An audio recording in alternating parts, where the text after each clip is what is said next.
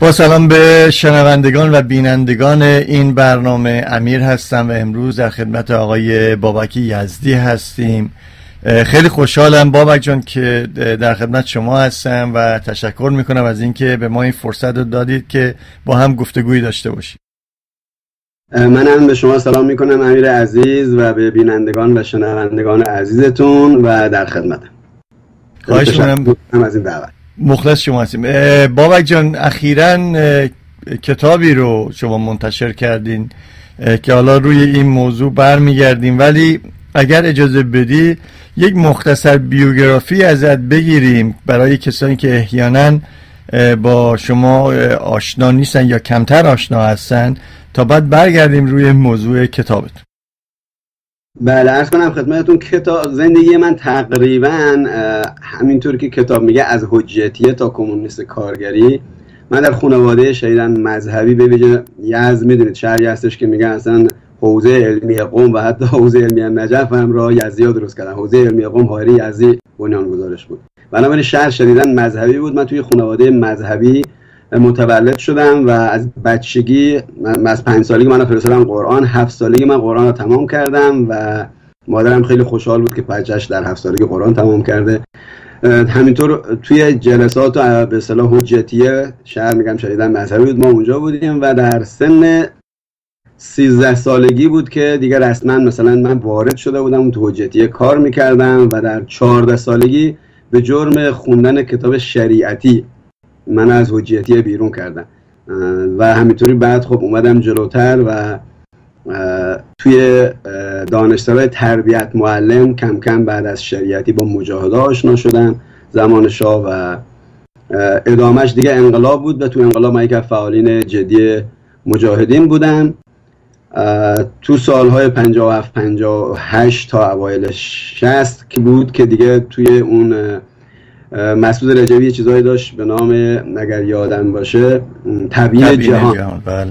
تبیین جهان که درس می‌داد میومد من توی آستان خودمون به صلاح تبیین جهان رو درس می‌دادم به بچه های مجاهد و راستش هیچ مارکسیستی منو خدا رو از من نگرفت خود تبیین جهان رو من هرچی بیشتر میخوندم چون بالاخره باید می‌خونم که درس می‌دادم و کم کم به این رسیدم که بخش از مسائل علمی رو دوستان پذیرفتن ولی خدایی هم گذاشتم بالاش و من رسما بهشون گفتم من دیگه نمی‌تونم درس بدم. گفتن چرا؟ گفتم به خاطر اینکه من خودم دیگه به این باور ندارم و من یه آدم به قول گفتنی بی خدای شدم. خیلی زحمت کشیدن خیلی زور زدن که منو نگر دارن متاسفانه یا خوشبختانه نتونستن. و از اون وقت به بعد من یه مدت با دوستان فدایی اقلیت کار می‌کردم دیگه آواره شدیم. سه, سه سال تو بندر عباس مخفی بودن. و جای شما خالی نباشه بندر عباس گرم سه سال با هم پینه به اصطلاح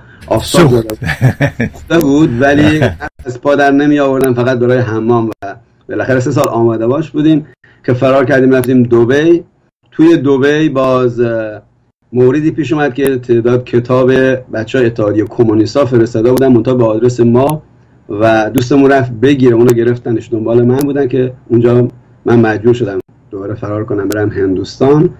تو هندوستان سر به اصطلاح مرز seaport بمبئی دستگیر شدیم و اونجا دیگه مجبور شدیم رگا رو بزنیم و اونجا رو خونالود کردیم تا ما رو برن بیمارستان دیپورت نکنن. خلاصه توی زندان اونجا مدتی بودیم زندان هندوستان یه دو ماهی بودیم که اونم خاطرات خودش داره. شپش های زندان رو تونستیم تو چند وقتی که بودیم به اصطلاح پاکسازی کنیم و توی هندوستان من سه سال توی یوان کار می‌کردم مترجم یوان بودم. اون زمان من با هنوز با بچه های اقلیت بودم که تو هندوستان شیفت کردیم با بچه های راه کارگر. و تا زمانی که اومدم کانادا و دو سه سال بعدش با راه کارگر بودم که اینجا دیگه کم کم با جنبش و حزب کمونیست کارگری آشنا شدم و الان از زمان به اصطلاح میشه بگه سال 91 92 دیگه ببخشید 2001 2002 من با بچه های کمونیست کارگری هستم. این تقریبا مختصری بوده است کتابم. همینطوری که می‌دونید بخشن خاطرات و مصاحبه ها و مقالات و گزارشات و شرح زندگی من هستش که بیشتر از می‌تونیم صحبت بله حتما. بخشی از این زندگی شاید بشه گفت تیپیک مثل خیلی از بچه های سیاسی که اصولا از مذهب شروع کردن و به چپ رسیدن. ولی سوال برای من این بود اون بخشی که در مجاهدین شما تدریس می‌کردید و بعد کم کم نظرات عوض شد خیلی خیلی ها تقریبا حالا به این شکل شکلهای شبیه این به چپ رسیدن. ولی اون نحوه انتقال در واقع حرکت شما از اقلیت به راه کارگر و بعدش بالا به حزب کمونیست کارگر ایران رو چجوری به این شکل صورت گرفت؟ چطوری شما در داشتی اقلیت کار می‌کردی گرایش پیدا کردی به راه کارگر؟ اینا آیا اینا به خاطر هر حال جوابایی که نمی‌تونستی بگیری از برخوردا بود یا به هر حال مسائل دیگه دوست داشتم اینا رو حداقل بدونیم ببینیم این تغییرات به چه شکل صورت گرفته؟ بله توی راه کارگر تقریبا ما تو هندوستان بودیم. یادم برگردم به ایران. ما دو دفعه رفتیم کردستان و وقتی می‌رفتیم کردستان همیشه اولین سوالی که از هر کس می‌کردیم یا دیگران از ما می‌کردن این بود که نظرت راجع به شوروی چی است؟ و خود شوروی تقریبا تو انقلاب تا چند سال بعد از انقلاب اصلا موضع بچه های چپ راجع به شوروی چی هست بخشن تعیین کننده بود. خب یه ده کلا قبلگاهشون بود مثل حزب توده و اکثریت اینا. یه ده به اصطلاح بینابینی بود. نه تایید می‌کردن نه صد درصد نفی می‌کردن مثل همون راه کارگر یا اقلیت اینا. منتها تو اقلیت بیشتر بخشی که من از راه کارگر از اقلیت آورد به راه کارگر اون بخش نظریه چریکی و به اصطلاح بحثایی که رفیق اون احمدزاده کرده بود که مبارزه مسلحانه هم استراتژی هم تاکتیک بخشن تو مطالعه. اون چیزی که من تونست از اقلیت به راه کارگر بیاره بالاخره اقلیت جریان رادیکال جدی جالبی بوده. شاید میگه رادیکال ترین جریان اون زمان مثلا پیکار و اقلیت بودن. ولی این بود که من از چیز آورد. از راه کارگر آورد به اقلیت. ولی یه چیز کلیترش بعدها متوجه شدم. مثلا نگاه کنید سازمان چریک های فدایی خلق ایران. این پنج کلمه بعد که با خود مارکسیسم آشنا شدم من یادم آشنا میشه اینه که گفتن سازمان شریک فدایی خلق اونم ایران. یعنی چیزی که وقتی که به مارکسیسم به مفهوم حالا امروزی که من نگاه می‌کنم نگاه می‌کنی قرار بوده حس تشکیل بدن چپ ها کمونیست ها مارکسیست ها رفتن سازمان. بعد شریک شدن. سیانور دارن. نمی‌دونم همیشه آماده باشن. به جایی که خودشون برن درگیر بشن تو کارخونه ها بخشن کارگرا رو از کارخونه آوردن تو خونه تیمی.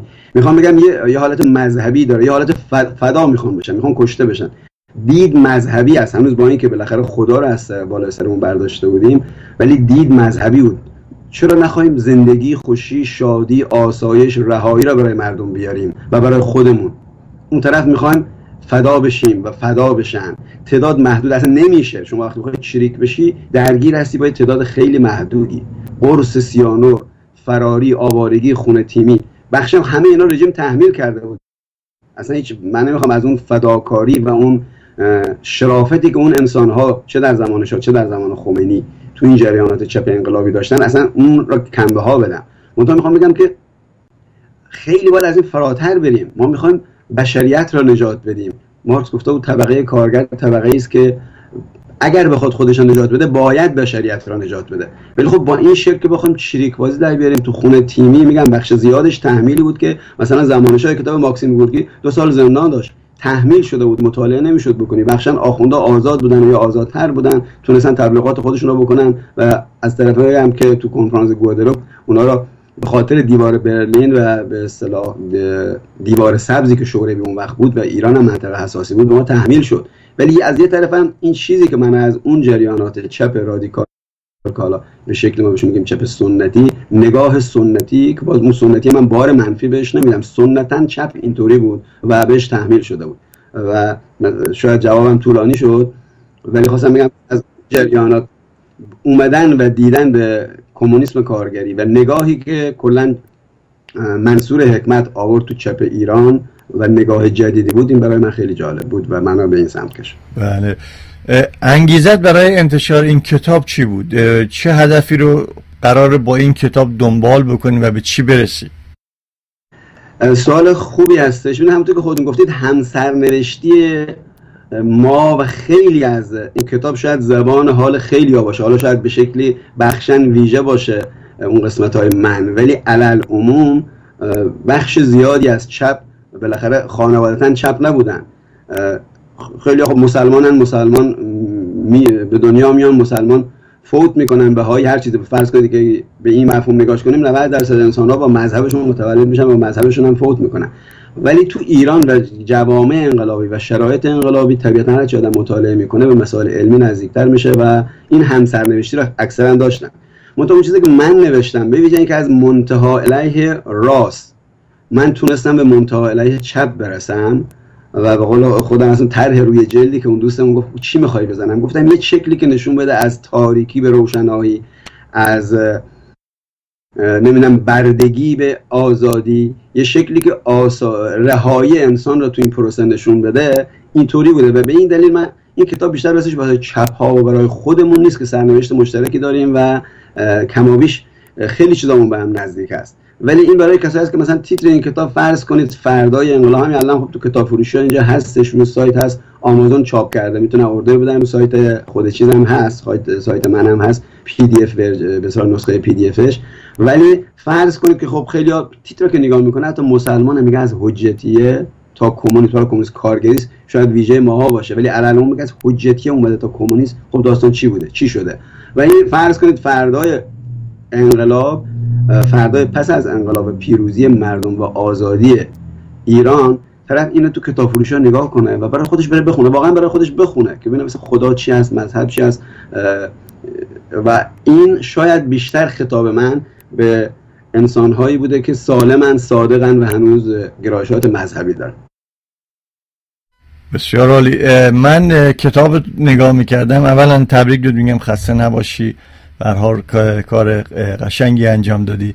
بعد سوالی که برای من پیش اومد خب بخشای ابتداییش در رابطه با اینکه خب چرا مسلمان نیستید و مسیری که طی کردی همونطور که الان خودم به نوعی به شکل خلاصه مطرح کردی. ولی بعد برمیگرده میره روی یک سری مسائلی که به طور ویژه میشه. مثلا برخوردهایی که به شهروند میشه یا برخوردهایی که مثلا به بعضی از فعالان سیاسی یا هنرمندان یا فعالان اجتماعی, اجتماعی میشه. به نظر خب اینا چجوری میگنجه توی اون مسیر؟ آیا اینا یعنی به عنوان یک شاخصهایی در این تحول صورت گرفت؟ مثلا وقتی که صحبت بر سر مثلا پاسخ به سعید بهبانی یا مثلا به هادی خورسندی یا موضوع شهروند مطرح میشه اینها چه ویژگیهایی رو توی این مسیر از تاریکی به روشنایی داشته که در کتاب جایگاه خاصی رو پیدا می‌کنه؟ خیلی ممنون از سوالتون. بید از خود شهروند شروع کنیم. اولا من معتقدم که پدیده ها افراد سازمان ها جریانات همه در حال تغییر و تحولن و طبیعتا من و شهروند و جریانات سیاسی هم تو همین پدیده می گنجیم و تغییر می‌کنیم. شهروند یه مدتی اینجا اتفاقا کتابی که من می‌خواستم برای چاپ این دوستمون که ادیتش می‌کرد وقتی نگاش می‌کرد یک کم چیز داشت. میگفتش که اینا فکر نمی خودش با شهروندی هم رفیق باید خود منم با شهروندی ها رفیقم با هم میشینیم دوستیم صحبت می‌کنیم متنقد خودمون هم داریم. به این مفهوم گفت فکر نمی عمر تاریخی سر اومده یا نمی‌دونم دیگه لازم نیست اینا. گفتم اتفاقا برعکس. یه وقتی بود که تو این شهر, شهر به اصطلاح دوران اوایل خاتمی و دورانی که ما اینجا مثلا این طرف یه چپ رادیکال و کمونیست کارگری و مجموع بچه های چپ رادیکال داشتیم مبارزه می‌کردیم با کلا اینکه آقا جان جمهوری اسلامی اصلاح شو نیست و اینا بلندگو و نماینده اون جریان بودن که هر روز از سازگارا اکبر گنجی نمی‌دونم بهنود فلان فلان دعوت می‌کردن اینجا و ما باید می‌رفتیم و بالاخره دو تا جنبش بود. یه جنبشی که بحث می‌کرد که آقا جان راهی جز سرنگونی جمهوری اسلامی نیست و یه بخشی اینا که نماینده و بلنگوی دو خرداد بودن. به این مفهوم من اصرار داشتم که حتما اینا باشه چون بخشی از تاریخ هست که بالاخره تو این گوشه دنیا هم اتفاق افتاده و تو اون زمان تو اون پروسه بالاخره دو تا نگاه بوده دو تا حرکت بوده دو تا جنبش بوده. به همین مفهوم برمیگردیم مثلا به خود آقای بهبهانی. که خودش یه فردی است مستقل ادعا می‌کرد. وقت چپ است ولی چپی بود که فقط چپا رو نقد می‌کرد یا بالاخره با هم برخورد می‌کردیم. با اینکه با هم دوست بودیم. خود هادی خورسندی خب بخش فردی بود. بخشا شاید اشتباهات اون زمان بخش از رفقای ما بود. ولی بالاخره تا زمانی که یه وقتی قشنگ با شهروند در افتاده بود و بعد دیدیم که دوباره بخشن حالا میگم ممکنه به خاطر بعضی از اشتباه بعضی از رفقای خود ما هم بود ولی می‌خوام میگم که با اینکه من با همه من, من اینجا تو انجمن ایرانیان رو تو حاشیه بهتون بگم تو پرانتز وقتی من اومدم تو انجمن ایرانیان اینجا حدود 600 خورده نفر عضو بود و من دو سه دور جز هیئت مدیرش بودم. و جالب است که تو این دو سه دور همیشه من رأی می آوردم با اینکه همه من چپ هستم. و به همین دلیل به اکثر این دوستانی که حالا به هر جریان و گرایشی بودن از راست تا چپ آشنا بودم دوست بودم رفیق بودم و این برخورد داشتیم. و خب این برخورد اتوماتیک بار توی چیزم آوردیم مثلا هم سکولارای سبز وقتی اینجا اومدن و بنیان گذاشتن خود آقای نوری علا اومد اینجا من یه برخورد خیلی دوستانه رفاقته ولی منتقدانه جدی باشون داشتم. آقا سکولار سبز یعنی چی؟ سکولار اصلا تو در تاریخ با چپ ها با ها با قرمزا تداعی میشه. حالا ما نمی‌خوام ادعای به اصطلاح تملک اونا بکنیم. ولی میذاشت انجمن سکولارهای مثلا ایرانی کانادا یا انجمن سکولار. خب منم میومدم عضوتون می‌شدم. این بحثا بود که بالاخره باز ما اینکه رفیق هستیم و کنار هم بودیم اینقدر فشار الان اخیرا نمی‌دونم جریان هستید اسمشون عوض کردن شده انجمن سکولار. بله بله عوض سکولار دموکرات های ایران. خب ظاهرا خیلی هم بهتر هستش. این شاید دلیلی بود که من بخشی از جنبش و حرکتی که تاریخی که داشت اتفاق میافتاد من سعی کردم اونجایی که من درگیر بودم یا یه گوشه از اینکه منم شریک بودم اینا به قلم بیارم. بسیار عالی. این مقایسه هم که شما قرار دادین از حجتی تا کمونیست کارگری تا چه حد موفق بودی به نظر خودت که توضیح بدی؟ میشه من منظورم این که وقتی که بحث بر سر دو قطب سیاهی و روشنایی میشه به نظر خودت تا چقدر موفق بودی که این قطبا رو بشکافی؟ یعنی اینکه اگر اشاره توی صحبت قبلیت هم داشتی که به حال خیلی شاید اینو بردارن بخونن ببینن خب از حجتیه تا کمونیست چه مسیر و چه وضعیتی هست؟ اگر این رو بخونن آیا فقط یک خاطره پیدا می‌کنن یا اینکه یک سری تحلیل ها هم پیرامون اون هست که توضیح بده چرا حجتیه بده مثلا. ببینید کتاب اولش من فکر می‌کردم چون تو صفحه بندی نشده بود همینطوری بخشن روی سایت بود و جمع جورش کردم و اینا فکر می‌کردم که مثلا کتاب خب بودن اطراف 250 200 250 صفحه بشه. منتها وقتی تو این قطع و صفحه بندی نشد دیدم 8 شد 500 صفحه. یعنی عملا شاید بهتر بود که دو تا کتاب می‌شد و با دو نام. ولی باز سعی کردم که بالاخره کتاب چون اونطوری می‌شد خیلی سنگین می‌شد بخشن رو در بیارم و بخشن رو به اصطلاح خیلی سایزش رو کوتاه کنیم فانتش رو کوتاه کنیم صفحه های سفید وسط بین هر چپتر و بین هر موضوع رو باز برداریم که کتاب زیاد سنگین نشه شد 230 صفحه.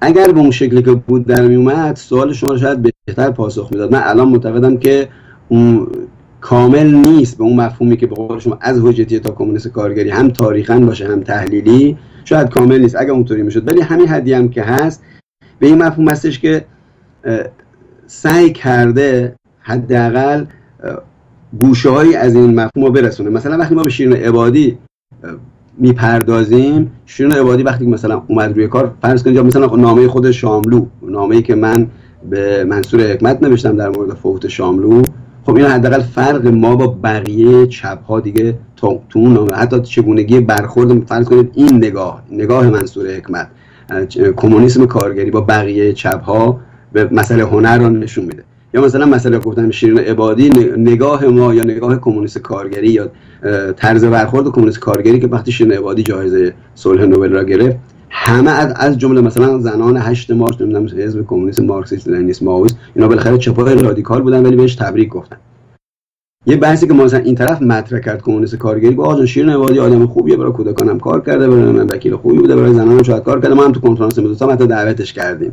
ولی این یه پروژه است و این پروژه رو باید نگاه کرد و اینکه می‌خوان جمهوری اسلامی اصلاح بشه یا اگر نشد اپوزیسیون این ملی اسلامی رو به اصطلاح بیارن و پروژه غرب از پروژه این اینا رو می‌خوام بگم این نگاه ها رو توی قسمت های مختلف من اون چیزی که انتخاب کردم و گذاشتم شاید به این دلیل بده که بخشن این نگاه با بقیه نگاه ها نشون داده بشه. اونجایی که از مثلا فرض کن حجتیه به مجاهد می‌رسه به شریعتی می‌رسه زیاد آنچنان چیزی ولی خب جالب بوده. مثلا گفتم من 14 سالگی کتاب شریعتی رو حالا چرا مثلا شریعتی میخوندم؟ تو حجتیه می‌گفتن شریعتی کمونیست است یه می‌گفتن بهایی است یه می‌گفتن سنی است. و برای من من بچه 13 14 ساله بودم خب بالاخره آنچنان سواد نداشتم کمونیست چی است سنی چی است نمی‌دونم بهایی چی است. ولی می‌دونم تا هم بالاخره فرق می‌کنن. کسی که بهایی است دیگه کمونیست نیست کسی که سنی است دیگه بهایی نیست.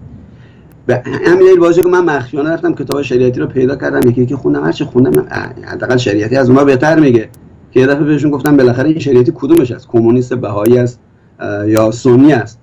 که آخونده گفتش که میگم یه سوال های این چنانی رو من همیشه می‌کردم و همیشه گفتش که تو نمی‌دونم این از همشون هم بدتر بوده. این سوالای بی ربط نکن. که من کتابا رو در آوردم گفتم این کتابش خیلی هم با ربطه خیلی هم شیعه است. یا مثلا یادم تو همون سنین یه دفعه از مولای ده جلو توی جلو مردم سوال کردم که شما میگید دو تا ملائکه روی شونه های ما هستن. ما ببخشید دستشویی هم که میریم این دو تا ملائکه اونجا هستن. می‌بینن داریم چه کار می‌کنیم. اینم گزارش می‌کنم به خدا. یه دفعه مولا اصلا با جلو جمع گفت این بچه رو بنزید بیرون سوالای بی تربیتی می‌کنه. می‌خوام بگم این واقعا سوالم بود برای من که مثلا یه سوال دیگه من این بود که بالاخره به تعداد افرادی که خلق شدن و مردن و به دنیا خواهند آمد از ابد تا ازل تا روز قیامت خب خدا این تعداد از قبل به اصطلاح روح آفریده در دنیای برزخ جمع کرده بعد میدمه در روحشون بعد بالاخره ملائکه میان ملائکه به چه زبانی می‌نویسن افراد به چه زبانی صحبت می‌کنن چجوری ترجمه میشه. یه مجموعه چیزا رو براش گفت بالاخره کی این سوالا رو می‌کنه؟ کی می‌نویسه خدا چقدر وقت می‌کنه؟ یه خدا هست و این همه آدم و این همه ملائکه و این همه زبان. می‌خوام بگم این سوالایی بود که برای من مطرح بود و این سوالا وقتی که یه به همین دل میگم که بخشی از کتاب خطاب به مذهبیایی هستش که هنوز واقعا توهم مذهبی دارن. که خب بالاخره این داستان چی است؟ اگر خدایی هست همه اینا رو می‌دونه پس چه به ملائکه چه احتیاج است و به ترجمه چه احتیاج است؟ همش می‌دونه دیگه اگر هم نیست که بالاخره که دیگه نیستش. عملا می‌رسن به اون چیزی که باید برسن. بله نه جالبه جالبه. پس اینطوری که صحبتش هست احتمال داره که جلد دوم کتابم بیرون بیاد. ببینید مطالبش آماده هست. وقت فقط می‌خواد و می‌دونید که ما من با اینکه الان میگم من اگر خودم تنهایی دو نفر دیگه هم full time در اختیار من بذاره همین کارهایی که فقط به قول گفتنی volunteer و افتخاری داریم انجام میدیم انجام نمیشه. واقعا مشکل بخشی از ما time هست زمان هست. اگر زمان بود فکر می‌کنم که هر زودتر کتاب باید میومد بیرون. به حال خوشحالیم و ممنون از اینکه وقتت هم خیلی پر ما این فرصت رو پیدا کردیم که گفتگوی با داشته باشیم. امیدواریم که در آینده هم بتونیم در مورد موضوعات مختلف باز هم با هم باشیم. اگر در پایان صحبتی داری خوشحال میشم که بشنیم منم خیلی ممنونم. از شما فقط دو تا داستان هم, هم بهتون بگم. یکی داستان میوه دوزی بود که ما دو بچگی می‌رفتیم از خونه کت خدا و با پسر کت خدا میوه رو میدوزیدیم. در خونه های مردم میگذاشیم شب که تاریک می‌شد. ولی هنوز جو دید مذهبی داشتیم. بعد توی ده توی مسجد شایع شده بود که خضر پیغمبر برای ما میوه میاره. مادر من بهش گفتم که مادر این خضر پیغمبر اینا که میگن دروغ هست و گفت پسر بی تربیت من کفر نگو. فلان گفتم بابا من و پسر کت خدا میریم میوه رو میدوزیم. این هم میواش می‌خوای از امشب بگم خونه کی چه میوه می‌ذاریم چه تعداد می‌ذاریم رنگش هم چی هست. بعد با اینا همه بهش گفتم حالا مادر ما این کارو می‌کنیم گناه نمی‌کنیم. که یادش بخیر مادرم از اون میگم بخشی از کتاب خود مادران و خاوران و مادر خودم تقدیم شده یادش بخیر. مادرم گفتش که یزیا به بچه میگه نه نه گفت نه نه خدا آفریده برای خلقی نه آفریده برای حلقی. چرا فقط کت خدا بخوره؟ یا یه, یه خاطره دیگه هم تو این کتاب هست بهتون بگم. وقتتون نگیرن در ارتباط نه نه خواهش سه سال ما تو دبی مخفیانه زندگی می‌کردیم و توی خونه زندگی می‌کردیم. دنبال خونه میگشتیم. خیلی هم گرون بود. ما هفت نفر بودیم توی خونه زندگی می‌کردیم. و یه دفعه گفتن یه خونه اینجا هست. خیلی خوبه ولی این خونه رو سه سال هیچ کس کرایه نکرده. گفتیم چرا گفتن خونه جن داره؟ گفتم خب بریم خونه رو ببینیم. رفتیم خونه رو دیدیم. صاحب خونه با اینکه خودش به اصطلاح آدم از اون بستگی های قدیم بود که از ایران رفته بودن دبی گفتش که این خونه هست خونه بدی هم نیست ولی خب می‌دونید که یه مشکلی داره. گفتیم آره شنیدیم مشکلش چی هست. ولی خب ما میگیریمش. بعد دبی یا و اون عربای اونجا نه همه معتقدن که جن با کمونیستا کار نداره. منتها خود این دبی ها فرهنگ اونجا طوری هستش که واقعا اگه می‌دونستم ما کمونیسم همون اولش شاید خب خطرناک بود. یه دفعه بعدم به کمونیسم میگن شیوعی. شیوعی هم برای اینا دو تا معنی داره. یه مثل بیماری که شیوع پیدا می‌کنه پخش میشه. یکی هم همون معنی کمون و به اصطلاح اشتراکی بودنش. یه دفعه گفت شما شیوعی نیستید. بعد من اون دوستم که با هم بودیم اون یکی بچه های اتحادیه کمونیستا بود یه چند تا بدویرا به توده ها گفت اونا فقط توده ای را شیوعی می‌دونستن. من هم گفتم که ما دعای ضد جن بلدیم. و خلاصه با دای ضد جن بلدیم سه سال ما در خونه زندگی کردیم که نصف قیمت که حتی کمتر و خلاصه جنی هم ندیدیم. خلاصه اینم خیلی از شما تشکر می‌کنم که این وقت رو به من دادید و موفق باشید. با درود رادیو پیام تنها رادیو فارسی زبان در شرق کانادا است که از ساعت ده صبح به وقت هلیفکس پنجمی بعد از ظهر تهران روزهای یک شنبه به مدت دو ساعت به صورت زنده اجرا و پخش میشه برای اطلاعات بیشتر. و همچنین برنامه های گذشته به وبسایت ما رادیو پیام مراجعه کنید.